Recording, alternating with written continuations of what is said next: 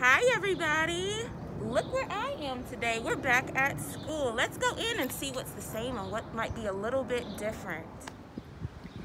You can see out here on the sidewalk, there are red marks that are six feet apart. This is very similar just to the grocery store and other places you have been. Moms and dads are gonna wait out here to go inside to get their temperature taken and their four medical questions. There's some signs there with some reminders.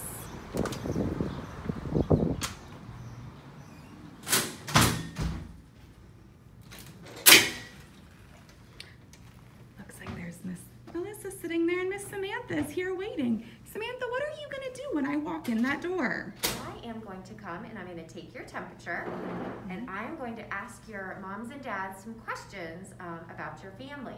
So here is one of the thermometers that we will be using and it's going to go right up by your forehead here and it's going to tell us what your temperature is. And then I'm going to be writing into this book what your temperature recorded and said and I'm going to ask your you and your parents if you've had any exposure to COVID-19, if you have a cough, if you have any shortness of breath or a sore throat. And as long as all of those answers are no, then we get to go into school. Awesome. So when I'm done with those questions, I'm going to stand on one of these footprints. And then either Miss Annalisa, Miss Samantha, Miss Melissa, or Miss Lisa are going to take us back through the doors to our classrooms. Miss Samantha, are mommies and daddies going back in the classrooms or will we say goodbye here in the lobby? We will say goodbye here in the lobby and then when moms and dads come to pick us up at the end of the day, one, either your teacher or myself or Annalisa or Lisa or Melissa will bring you back up here to see your moms and dads. Awesome. So after mommies and daddies say goodbye, I'm noticing that down the hallway, there's a bathroom door that's propped open. If they want to wash their hands there, that's available. I'm also noticing that the library, the door is closed and the lights are off. That's going to stay closed for some time to make sure that we don't spread our germs, but we have plenty of books back in the classroom. Let's head on back and see what we can find.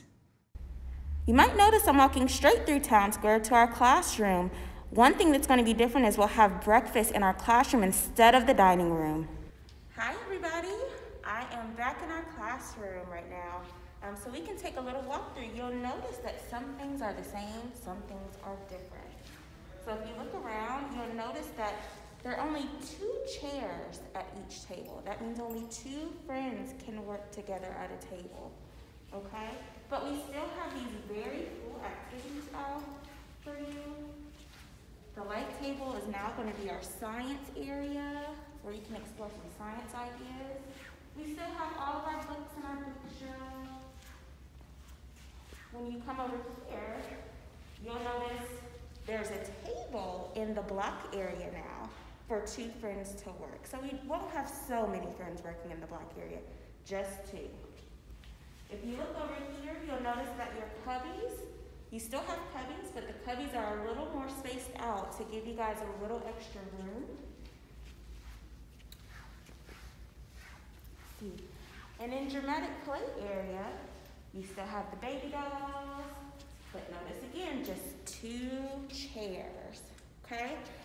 Another thing that's different in dramatic play is we won't have all of the clothes, the dress-up clothes for you guys to play with, but there's still lots of materials for you to play with in dramatic play, okay? I am so excited to have you guys back in our classroom and I can't wait to see you on Monday. One thing that you might notice that I'm wearing is a mask. All the grown-ups in our school, all the teachers, Chef Mark, Ms. Annalisa, and Samantha, we'll be wearing masks at school to make sure that we're keeping our bodies safe and not spreading germs.